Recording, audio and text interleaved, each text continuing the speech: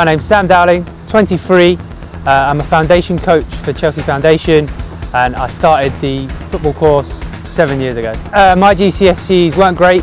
I got didn't get the 5A to Cs, but I got the 4Ds to get myself on the course. But at that point, I was pretty pretty sure that I was going to do the course anyway, so that was what I was aiming for.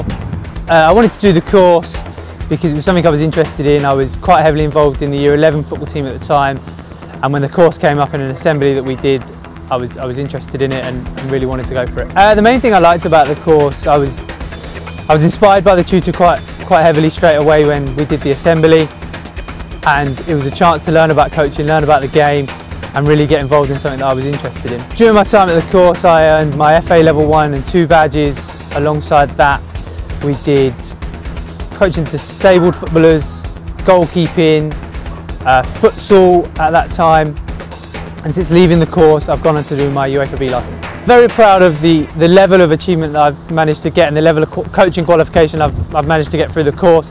And I feel especially in my third year, that's really helped me get, get to where I am today. My family feel very proud of the achievement I've, I've gained, especially the qualifications just because of my age and how young I was when I gained the qualification. I had many opportunities to go out and coach, especially through the course, meeting certain people with the tutors, contacts, and different football clubs that the, the course is involved with.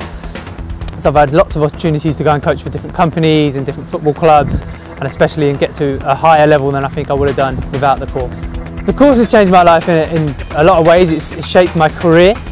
It's made me a, a very more rounded person and I think more understanding of other people and other people's needs. And I think I, I wasn't a good planner before I was on the course, but I think I can plan my life quite well now when I get through. I'm very proud to be working for the Chelsea Foundation.